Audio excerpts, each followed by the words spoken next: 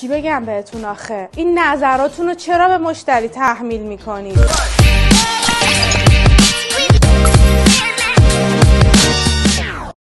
چه کاریه؟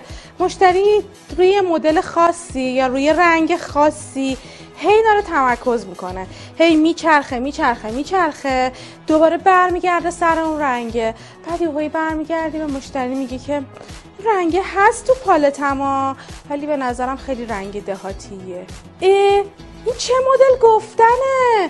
وقتی مشتری یه چیزی رو دوست داره یا بهش علاقه منده باید به سلیقش احترام بذاری باید دقت کنی باید باهاش همراه بشی. حالا چون که تو پیجت یه رنگ لاکی رو نداری منتظری نفر بعدی اون رنگ رو بزنه که پیجت تکمیل بشه یا به خاطر اینکه اون لاکت داره تموم میشه یا به خاطر اینکه گچیه زدنش سخته باید به مشتری بگی اون اصلا خوب نیست.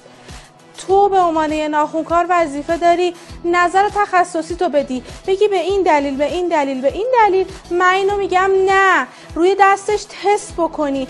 اگر بعد از همه این کارا بازم اون کار رو دوست داشت باید براش انجام بدی. بهش بگی مبارکه و با خوشحالی راهیش بکنی. این چه کاری غیر مستقیم مشتری رو زیر سوال می‌بری؟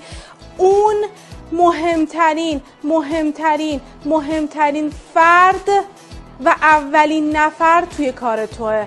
پس نظرت رو لطفا تحمیل نکن.